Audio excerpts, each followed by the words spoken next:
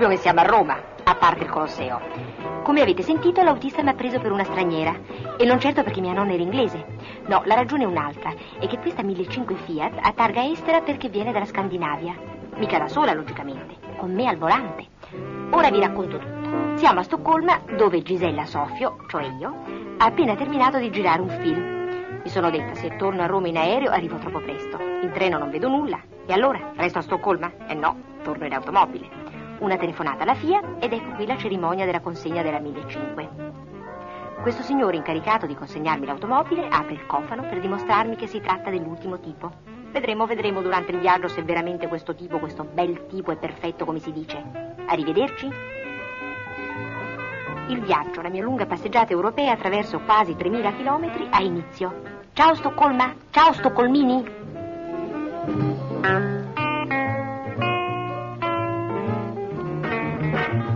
700 km separano Stoccolma da Malmo. Un po' di curve, niente autostrada. In compenso un sacco di laghi, laghetti. Perché sapete, la Svezia non è mica tutta intera come l'Italia. Ma chi? È tutta a pezzettini. E così, di isolotto in isolotto, si arriva a Malmo, al traghetto. Al di là c'è, indovinate? Copenaghen, la splendida Copenaghen. È una città allegra, vivace, che di nordico ha solamente il clima. Però, eh, che linea la mia 1500 come spicca fra tutte le altre automobili. Portiamola a respirare un po' di aria di casa alla Fiat di Copenaghen. Questo angolo non sembra un pezzetto d'Italia? Infatti alle filiali Fiat all'estero è come trovarsi in Italia. Certo il portiere non ha l'accento torinese né quello dell'autista romano. Tac, tac. Tac vuol dire grazie in danese. Beh sì, modestamente so molte lingue io. Un altro tac ve lo dice il collaudatore quando gli consegnate il foglietto ed inizia subito le prime operazioni di controllo. Un controllino così, tanto per pignoleria.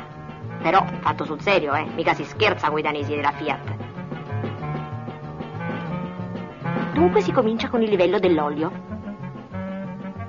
Perfetto, congratulazioni signora 1500. Lei non consuma olio.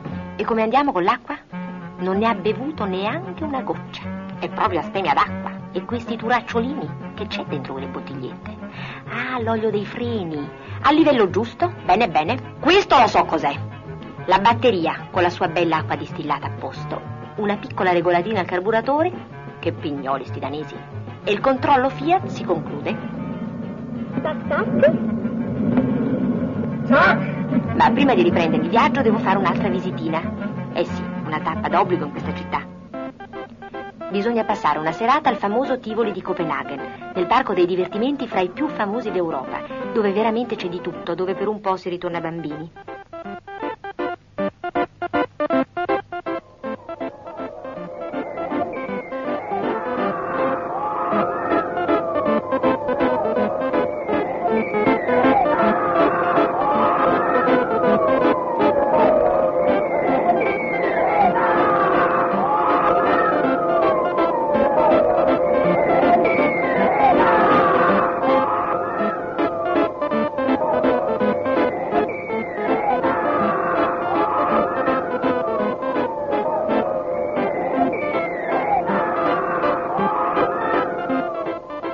Ma in fondo anche pilotare la 1500 è un divertimento. Fila via che è una bellezza, stai seduta come in poltrona e ti godi veramente il viaggio. Ah, di questo ponte vi devo parlare. È il più lungo d'Europa, sull'autostrada battezzata Volo d'Uccello che parte dalla Danimarca e attraversa la Germania. In poche ore siete ad Amburgo. La cosa che più colpisce in Germania sono i cartelli pieni di Achtung, Verboten, punti esclamative. Hai capito, sti tedeschi? Uh. Scherzi a parte, il porto di Amburgo è enorme. Ha 52 bacini, 250 km di banchine, un traffico di navi che... Scusate un attimo, se non mi scappa sto battello.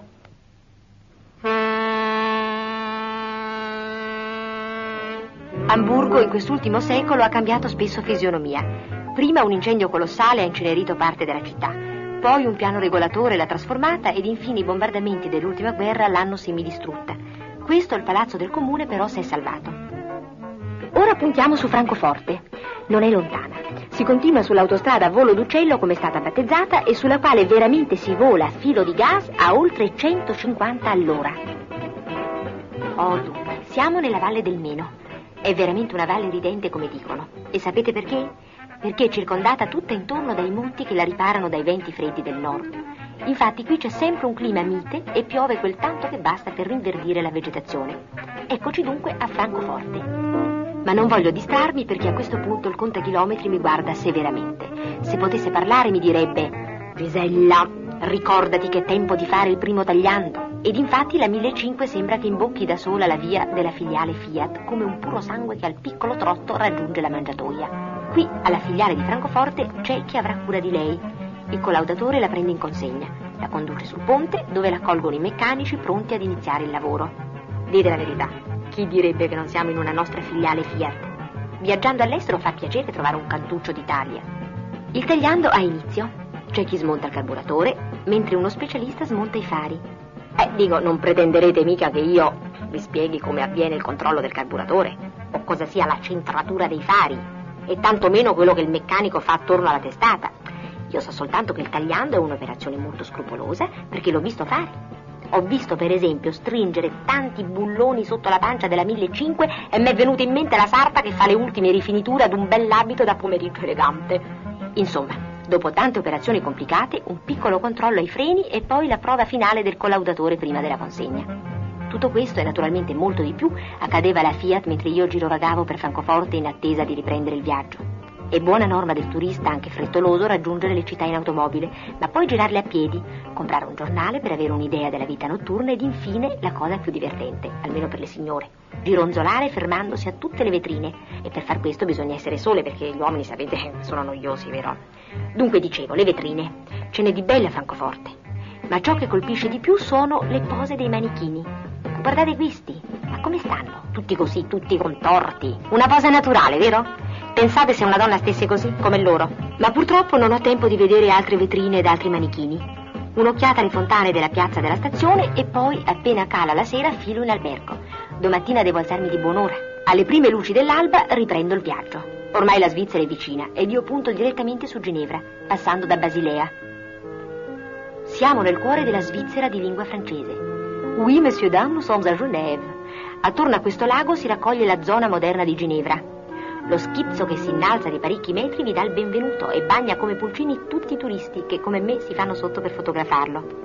Meglio e soprattutto più asciutto puntare l'obiettivo della cinepresa sulla magnifica palizzata che circonda il lago e che vi dà un'idea sia pure approssimativa di questa incantevole città dove il sole è tiepido ma riscalda anche d'inverno. Questo grande specchio d'acqua ti fa invidiare i cigni che, motoscafi permettendo, si sentono i veri padroni del lago. Qui vivono beatamente, mettono su famiglia e si tramandano il loro candore di generazione in generazione. La Ginevra antica è sulla collina. Purtroppo non ho tempo di visitarla ed allora non mi resta che portare con me il ricordo di qualche cartolina. Del resto le cartoline raffigurano i punti più belli di ogni città. Non dico che tutti i turisti debbano comportarsi come me, cioè pur essendo arrivati in una città a contentarsi di vederla in cartolina, ma io ho proprio rubato qualche giorno di vacanza e devo praticare un turismo velocissimo. E poi devo anche pensare alla 1005, no? Ormai siamo diventate amiche, devo averne cura. Come si dice? Chi trova un'amica trova un tesoro.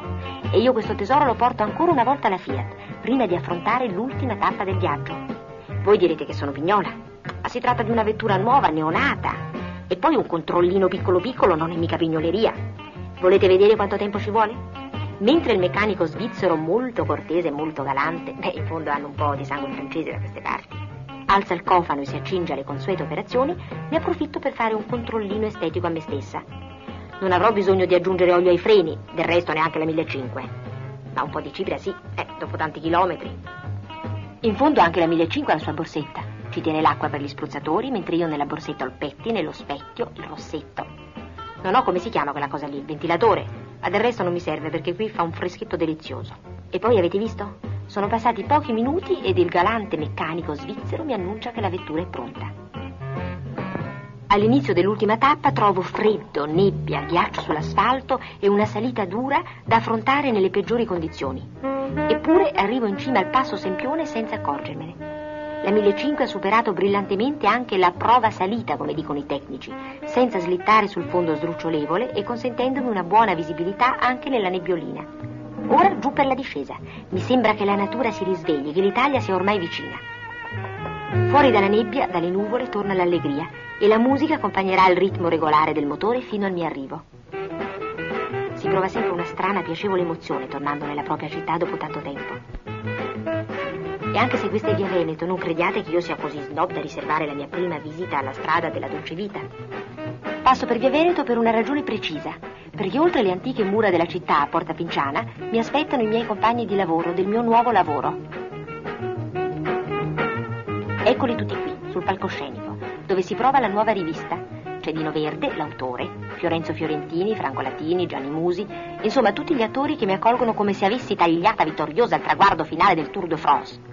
Sono arrivata puntuale, riposata e pronta a cominciare immediatamente le prove. E così, mentre ora tocca a me lavorare, la 1500 si riposa ed ogni tanto la guardo con gratitudine, perché mi ha fatto trascorrere una breve ma meravigliosa vacanza attraverso l'Europa. Eccola lì la mia fedele Fiat, mi guarda e aspetta, e io le dico grazie se tu non fossi un'automobile ti abbraccerei.